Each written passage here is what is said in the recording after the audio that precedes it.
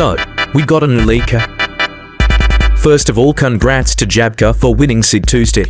Besides the Sid Tuesday announcement, we got a Wordle, which will answer the licensed car class, which is Hypercar.